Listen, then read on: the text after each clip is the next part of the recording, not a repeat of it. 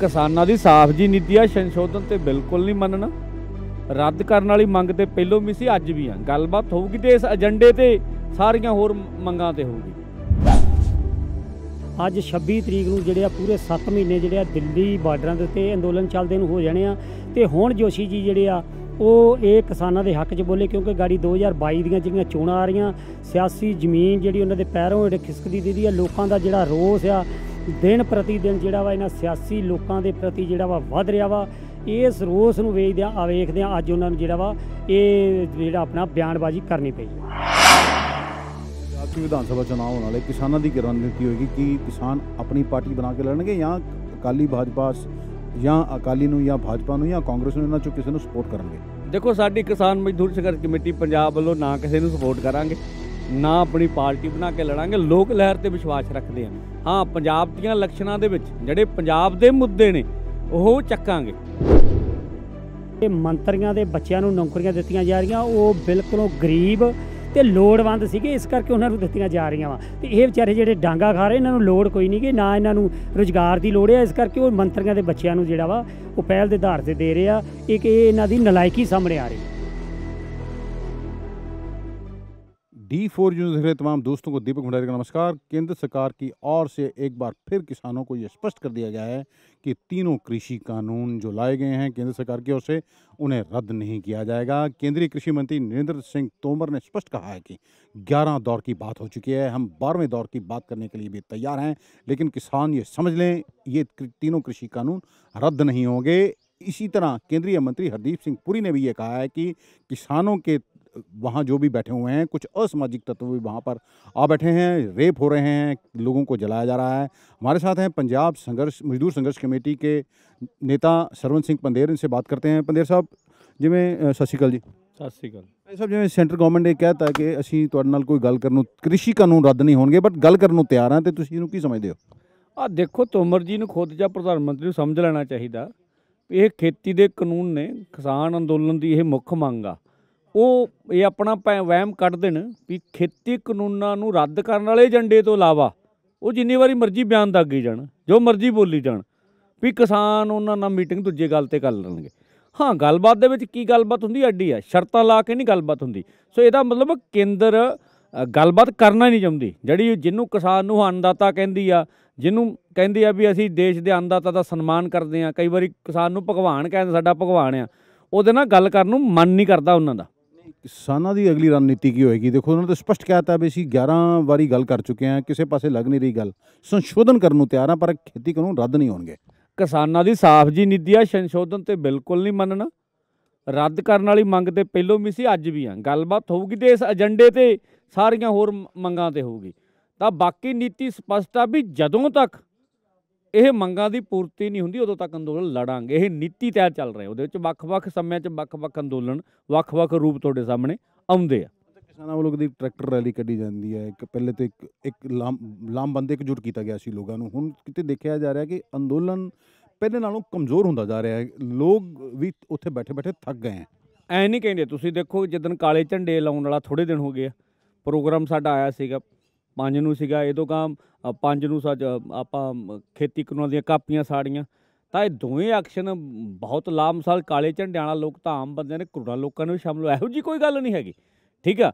ਕੰਮ ਦੀ ਰੁੱਤ ਵਿੱਚ ਕਿਸਾਨਾਂ ਦੀ ਕਿਤੇ ਗਿਣਤੀ ਥੋੜੀ ਬਹੁਤੀ ਵਾਧਾ ਘਾਟਾ ਹੋ ਜਾਣਾ ਇਹ ਕੋਈ ਮਤਲਬ ਨਹੀਂ ਹੈਗਾ।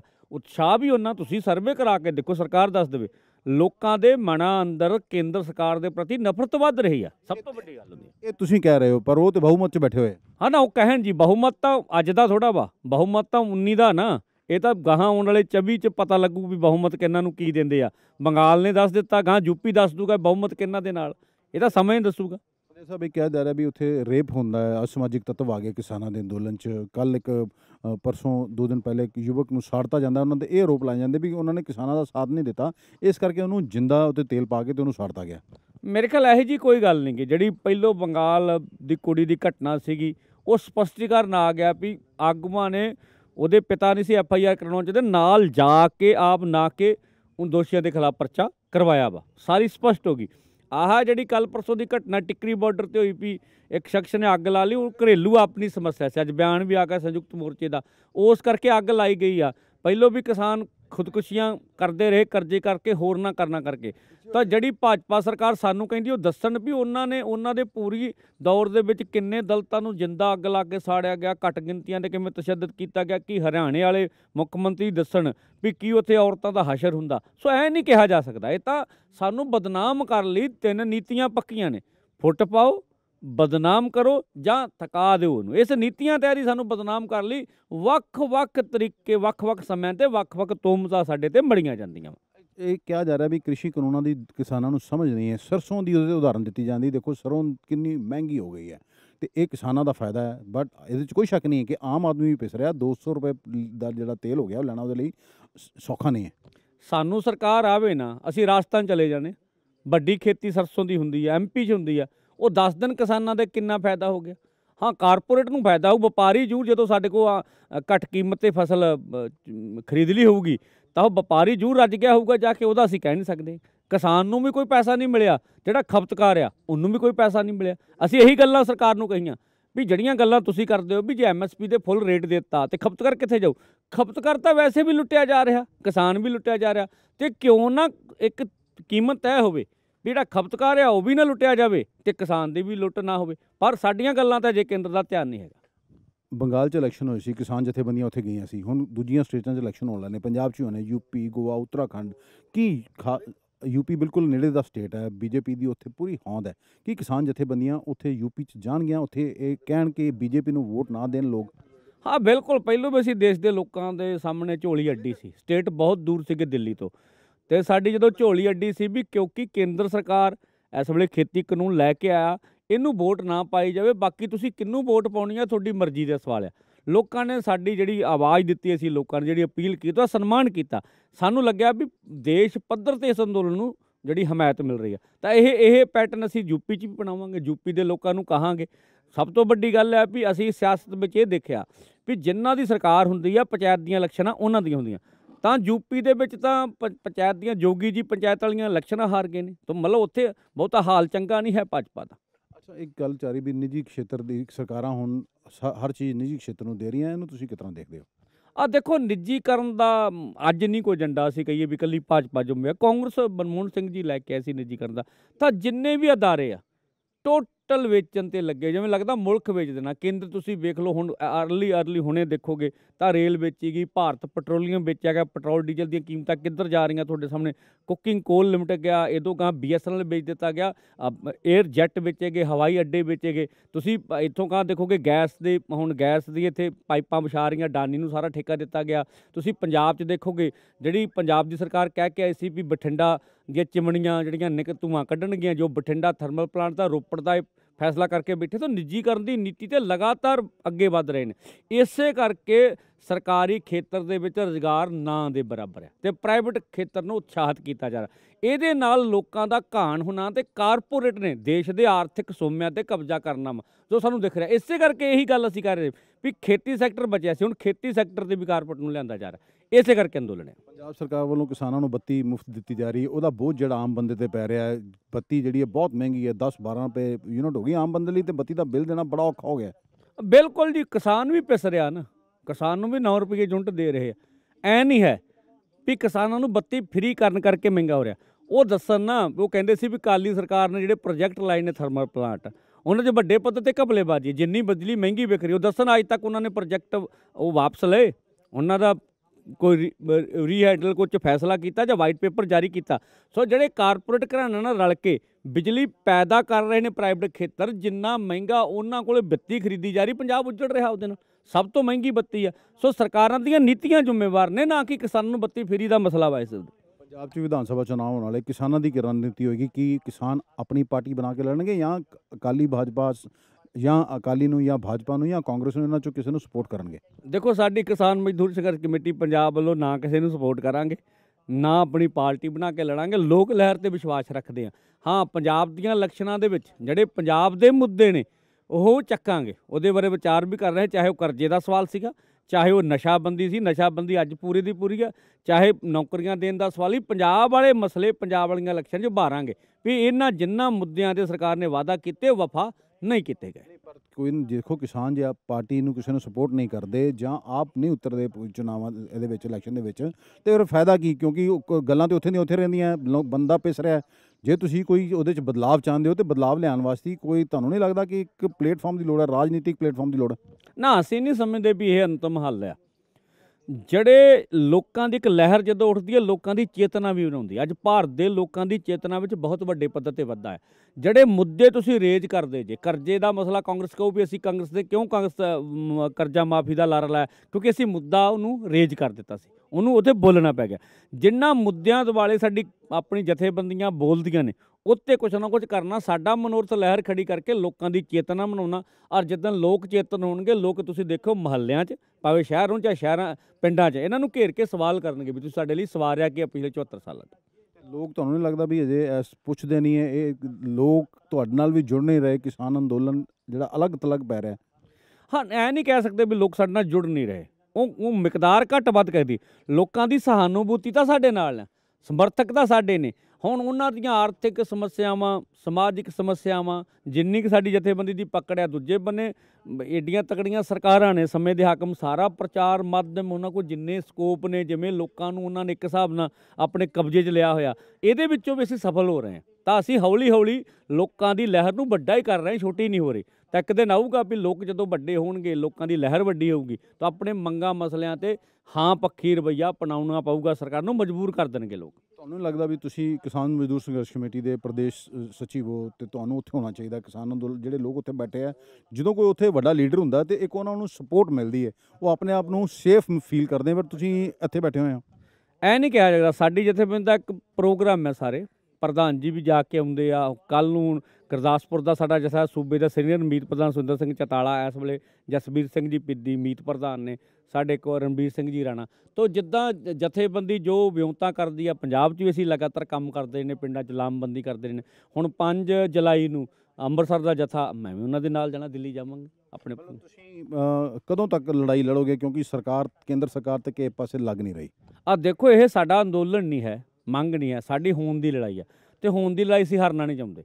ਅੰਤਮ ਸਾਹਾਂ ਤੱਕ ਲੜਾਂਗੇ 24 ਤੱਕ ਲੜਨਾ ਪਿਆ 25 ਤੱਕ ਲੜਨਾ ਪਿਆ। ਪੂਰੀ ਜਾਨ ਨਾਲ ਲੜਾਂਗੇ ਔਰ ਲੋਕਾਂ ਦਾ ਸਮਰਥਨ ਆ ਵੀ ਇਹ ਆਖਰੀ ਜੰਗ ਹੋਊ ਖੇਤੀ ਸੈਕਟਰ ਦੀ ਤੇ ਕਾਰਪੋਰੇਟ ਦੀ। ਇਹ- ਤੁਸੀਂ ਕਹਿ ਰਹੇ ਹੋ ਨਾ ਬਟ ਉਹ ਤਾਂ ਕਾਰਪੋਰੇਟ ਸੈਕਟਰ ਕੋਲ ਤਾਂ ਬਹੁਤ ਪੈਸਾ ਹੈ ਸਰਕਾਰਾਂ ਉਹਨਾਂ ਦੇ ਨਾਲ ਹੈ ਤੇ ਤੁਸੀਂ ਬਿਨਾਂ ਪੈਸੋਂ ਤੋਂ ਕਿਵੇਂ ਉਹਨਾਂ ਨਾਲ ਲੜ ਪਾਓਗੇ? ਸਾਨੂੰ ਭਾਰਤ ਦੇ ਲੋਕਾਂ ਤੇ ਵਿਸ਼ਵਾਸ ਆ। ਅਸੀਂ ਇਹ ਮੰਨਦੇ ਵੀ ਲੋਕਾਂ ਤੋਂ ਵੱਡੀਆਂ ਕੋਈ ਸਰਕਾਰਾਂ ਨਹੀਂ ਹੁੰਦੀਆਂ।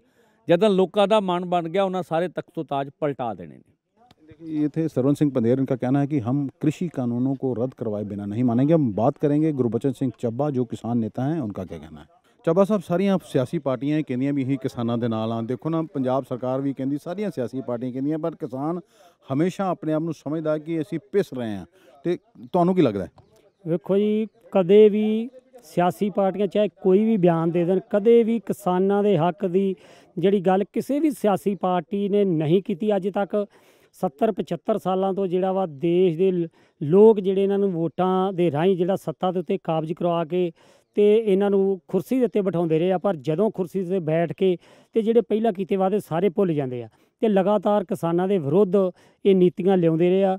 ਉਹਦੇ ਵਿੱਚ ਕਿਸੇ ਵੀ ਕਿਸਮ ਦੀ, ਕਿਸੇ ਪਾਰਟੀ ਦੀ ਜਿਹੜੀ ਆ ਸਰਕਾਰ ਆ, ਜੇ ਹਮੇਸ਼ਾ ਕਿਸਾਨ ਵਿਰੋਧੀ ਹੋਈ ਆ ਇਹ ਸਾਨੂੰ ਜਚਾ ਦੇਣ ਵੀ ਕਿਹੜੀ ਪਾਰਟੀ ਨੇ ਜਿਹੜੇ ਕਿਸਾਨਾਂ ਪ੍ਰਤੀ ਜਿਹੜੀ ਆ ਕੋਈ ਉਹਨਾਂ ਦੇ ਹੱਕ ਦੀ ਆਵਾਜ਼ ਉਠਾਈ ਆ। ਬੀਜੇਪੀ ਨੇਤਾ ਜਿਹੜੇ ਅਨਿਲ ਜੋਸ਼ੀ ਉਹ ਤੁਹਾਡੇ ਕਿਸਾਨਾਂ ਦੇ ਫੇਵਰ ਚ ਬੋਲੇ ਨੇ, ਤੇ ਤੁਸੀਂ ਕੀ ਸਮਝਦੇ ਹੋ ਇਹ ਵੇਖੋ ਜੀ, ਜੋਸ਼ੀ ਜੀ ਬੋਲੇ ਆ, ਹੁਣ ਆਣ ਕੇ ਬੋਲੇ ਆ, ਕਿਉਂਕਿ ਲਗਾਤਾਰ 1 ਸਾਲ ਤੋਂ ਵੱਧ ਹੋ ਗਿਆ ਸਾਨੂੰ ਇਸ ਅੰਦੋਲਨ 'ਚ ਪਿਆ ਨੂੰ ਕਾਲੇ ਕਾਨੂੰਨਾਂ ਦੇ ਖਿਲਾਫ।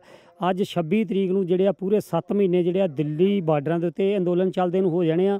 ਤੇ ਹੁਣ ਜੋਸ਼ੀ ਜੀ ਜਿਹੜੇ ਆ, ਉਹ ਇਹ ਕਿਸਾਨਾਂ ਦੇ ਹੱਕ 'ਚ ਬੋਲੇ, ਕਿਉਂਕਿ ਗਾੜੀ 2022 ਦੀਆਂ ਜਿਹੜੀਆਂ ਚੋਣਾਂ ਆ ਰਹੀਆਂ, ਸਿਆਸੀ ਜ਼ਮੀਨ ਜਿਹੜੀ ਉਹਨਾਂ ਦੇ ਪੈਰੋਂ ਜਿਹੜੇ ਖਿਸਕਦੀ ਦੀਦੀ ਆ, ਲੋਕਾਂ ਦਾ ਜਿਹੜਾ ਰੋਸ ਆ ਦਿਨ ਪ੍ਰਤੀ ਦਿਨ ਜਿਹੜਾ ਵਾ ਇਹਨਾਂ ਸਿਆਸੀ ਲੋਕਾਂ ਦੇ ਪ੍ਰਤੀ ਜਿਹੜਾ ਵਾ ਵੱਧ ਰਿਹਾ ਵਾ ਇਸ ਰੋਸ ਨੂੰ ਵੇਖਦਿਆਂ ਆ ਵੇਖਦਿਆਂ ਅੱਜ ਉਹਨਾਂ ਨੂੰ ਜਿਹੜਾ ਵਾ ਇਹ ਜਿਹੜਾ ਆਪਣਾ ਬਿਆਨਬਾਜ਼ੀ ਕਰਨੀ ਪਈ ਹੈ। ਪਰ ਉਹਨਾਂ ਨੇ ਬੀਜੇਪੀ ਦੇ ਖਿਲਾਫ ਜਾ ਕੇ ਕੀਤੀ ਹੈ। ਤੁਹਾਨੂੰ ਕੀ ਲੱਗਦਾ ਆਪਣਾ ਉਹਨਾਂ ਦਾ ਕੋਈ ਪਰਸਨਲ ਇੰਟਰਸਟ ਹੈ ਇਹਦੇ ਵਿੱਚ?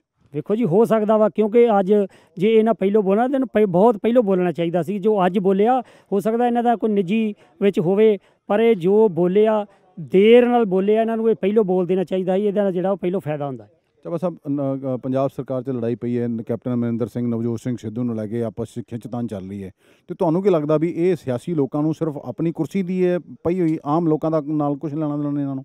ਬਿਲਕੁਲ ਜੀ, ਸਿਆਸੀ ਪਾਰਟੀ ਦੇ ਮੈਂ ਪਹਿਲਾਂ ਕਹਿ ਚੁੱਕਾ ਵੀ ਕੋਈ ਵੀ ਹੋਵੇ, ਇਹਨਾਂ ਨੂੰ ਆਪਣੀ ਕੁਰਸੀ ਨਾਲ ਲੈਣਾ ਦੇਣਾ ਹੁੰਦਾ।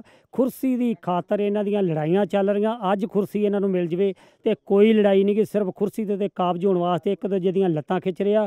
ਅੱਜ ਲੋਕਾਂ ਦੇ ਜਿਹੜੇ ਆ ਜਿੰਨੇ ਮਸਲੇ ਆ ਸਾਰੇ ਇਹਨਾਂ ਵਸਾਰੇ ਪਏ ਸਿਰਫ ਤੇ ਸਿਰਫ ਇਹਨਾਂ ਨੂੰ ਆਪਣੀ ਕੁਰਸੀ ਦੇਖ ਰਹੀ ਆ। ਜੇ ਕਿਤੇ ਲੋਕਾਂ ਦੇ ਮਸਲਿਆਂ ਦੇ ਉੱਤੇ ਵਿਚਾਰ ਕਰਕੇ ਉਹਨਾਂ ਨੂੰ ਲਾਗੂ ਕਰਨ ਦੀ ਗੱਲ ਕਰਦੇ 5 ਸਾਲ ਬੀਤ ਚੱਲਿਆ, ਜੋ ਕੈਪਟਨ ਸਾਹਿਬ ਨੇ ਜਿਹੜੇ ਆ ਵਾਅਦੇ ਕੀਤੇ, ਉਹਨਾਂ ਤੋਂ ਜਿਹੜਾ ਬਿਲਕੁਲ ਉਹ ਪਾਸੇ ਡੇ ਪਏ ਆ। ਜੇ ਹੁਣ ਇੱਕ ਪਾਸੇ ਤੇ ਦੇਖੋ ਟੀਚਰ ਸੰਘਰਸ਼ ਕਰ ਰਿਹਾ ਵੀ ਸਾਨੂੰ ਪੱਕਿਆਂ ਕਰੋ, ਦੂਜੇ ਪਾਸੇ ਮੰਤਰੀਆਂ ਦੇ ਜਿਹੜੇ ਆ ਮੁੰਡਿਆਂ ਨੂੰ ਨੌਕਰੀਆਂ ਦੇ ਰਹੀ ਪੰਜਾਬ ਸਰਕਾਰ, ਇਹਦੇ ਬਾਰੇ ਕੀ ਕਹਿਣਾ? ਵੇਖੋ ਜੀ, ਅੱਜ ਪੂਰੇ ਪੰਜਾਬ ਦੇ ਵਿੱਚ ਹਾਹਾਕਾਰ ਮਚੀ ਪਈ ਆ।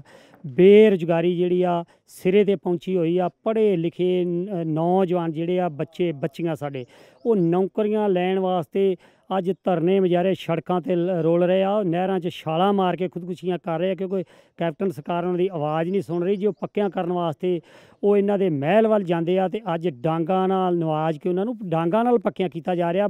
ਨਾ ਕਿ ਉਹਨਾਂ ਨੂੰ ਨੌਕਰੀਆਂ ਦਿੱਤੀਆਂ ਜਾਂ ਕਿਉਂਕਿ ਇਹਨਾਂ ਵਾਅਦੇ ਕੀਤੇ ਸੀ ਵੀ ਘਰ ਘਰ ਨੌਕਰੀ ਦੇਵਾਂਗੇ ਤੇ ਮੰਤਰੀਆਂ ਨੂੰ ਦੇ ਦੇ ਬੱਚਿਆਂ ਨੂੰ ਦੇ ਰਹੇ।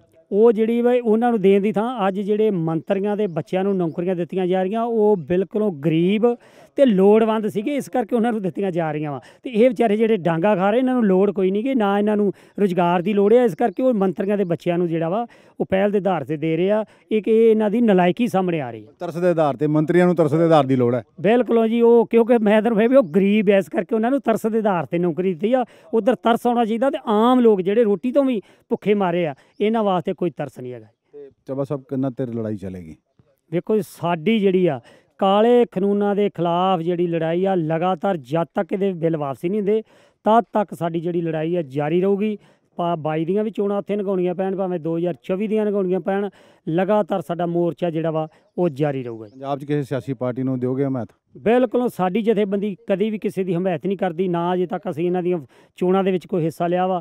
ਫਿਰ ਫਿਰ ਇੰਨੇ ਲੰਬੇ ਸੰਘਰਸ਼ ਦਾ ਫਾਇਦਾ ਕੀ? ਕਿਸੇ ਨੂੰ ਤਾਂ ਸਪੋਰਟ ਕਰਨੀ ਪੈਗੀ ਨਾ। ਬਿਲਕੁਲ ਜੀ ਅਸੀਂ ਆਪਣੇ ਜਿਹੜਾ ਵਾ ਇਹਨਾਂ ਮੁੱਦਿਆਂ ਤੇ ਸਾਡੀ ਜਿਹੜੀ ਆ ਲੜਾਈ ਆ ਚਾਹੇ ਚੋਣਾਂ ਦੇ ਵਿੱਚ ਆ ਕਿਤੇ ਬਿਲਕੁਲ ਅਸੀਂ ਸਿੱਧੀ ਹਮਾਇਤ ਇਹਨਾਂ ਨੂੰ ਕਰਦੇ ਕਿਉਂਕਿ ਇਹਨਾਂ ਦੀਆਂ ਦੇ ਨੀਤੀਆਂ ਪਾਲਿਸੀਆਂ ਜਿਹੜੀਆਂ ਉਹਨਾਂ ਦੇ ਕਾਰਪੋਰੇਟਾਂ ਦੇ ਹੱਕ 'ਚ ਅਸੀਂ ਇਹਨਾਂ ਦੇ ਖਿਲਾਫ ਜਿਹੜਾ ਵਾ ਉਹ ਡਟ ਕੇ ਚੋਣਾਂ ਦੇ ਦਿਨਾਂ 'ਚ ਵੀ ਲੜਾਂਗੇ। ਤੁਹਾਨੂੰ ਕੀ ਲੱਗਦਾ ਲੀਡਰ ਪੰਜਾਬ ਨੂੰ ਖਾ ਗਏ ਲੁੱਟ ਕੇ? ਮੈਂ ਕਿਹਾ ਜੀ ਇਹਦੇ ਵਿੱਚ ਦੋ ਕੋ ਰਾਏ ਨਹੀਂ ਹੈਗੀਆਂ। ਅੱਜ ਜੋ ਪੰਜਾਬ ਦੀ ਹਾਲਾਤ ਬਣਾ ਦਿੱਤੀ ਹੈ ਸਾਰੇ ਸਾਡੇ ਕੋਈ ਵੀ ਪਾਰਟੀ ਪਾਰਟੀ ਦੇ ਲੀਡਰਾਂ ਨੇ ਜਿਹੜੇ ਹਾਲਾਤ ਇਹ ਵੱਧ ਤੋਂ ਬਦਤਰ ਕੀਤੇ ਹੋਏ ਆ ਇਹ ਇਹਨਾਂ ਲੀਡਰਾਂ ਦੀ ਦੇਣ ਹੈ ਜੀ ये थे गुरबचन सिंह चब्बा इन नेताओं का कहना है कि किसान नेताओं का कि भले ही जो मर्जी हो जाए जब तक कृषि कानून केंद्र सरकार की ओर से रद्द नहीं किए जाते हैं तब तक ये संघर्ष करते रहेंगे इनका कहना है कि विधानसभा चुनाव जो होने हैं, अगले वर्ष 2022 में पंजाब में भी, उसमें ये किसी भी पार्टी को सपोर्ट नहीं करेंगे।